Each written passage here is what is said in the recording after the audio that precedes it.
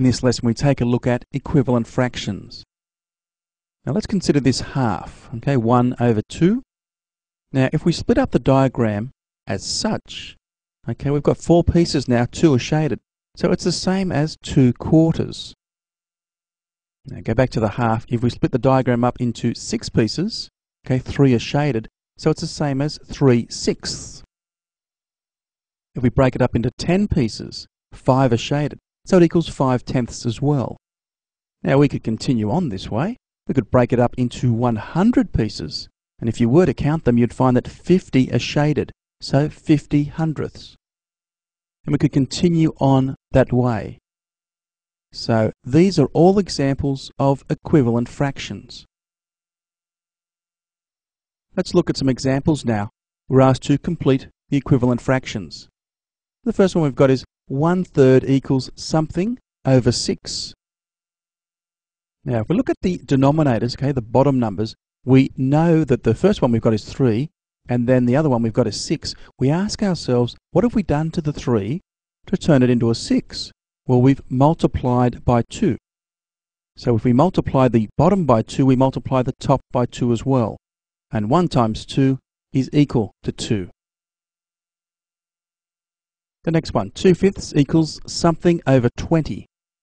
Again, looking at our bottom numbers, our denominators, the 5 we've turned into a 20 by multiplying by 4. So if we multiply the bottom by 4, we multiply the top by 4 as well. So on the top, okay, our numerator, 2 times 4 becomes 8. The next one, 3 eighths equals something over 40. So our denominators, we know both of them, so let's consider 8. To turn it into a 40, we times by 5. We times the bottom by 5, let's times the top by 5 as well. And 3 times 5 is 15. 3 quarters equals something over 40. Looking at the denominator, 4 has turned into 40 by multiplying by 10. That's right.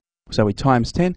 Timesing 10 on the bottom, we times 10 on the top as well and 3 times 10 is 30. The next one, 1 half equals something over 12. Well, the denominator is 2. We've turned it into a 12 by multiplying by 6. So if we multiply the bottom by 6, let's multiply the top by 6, okay, the numerator. And 1 times 6 is 6. Okay, the next one's a little bit different, okay, because this time we know both top numbers, we know both numerators. So we're going to be working with the numerators. So looking at the top, we've turned the 1 to a 5. How do we do that? We do that by timesing by 5. So if we times the top by 5, we must times the bottom by 5 as well. So 4 times 5 is 20. The next one, again, we know both numerators, okay, both top numbers. So looking at the 2, how do we change that to a 6? We do that by timesing by 3. So if we times the top by 3, let's times the bottom by 3 as well. And 9 threes are 27. 3 tenths equals 12 over something. Again, we know the top numbers, so the 3, to turn it into a 12, we times by 4. If we times the top by 4, let's times the bottom by 4 as well and 10 fours are 40.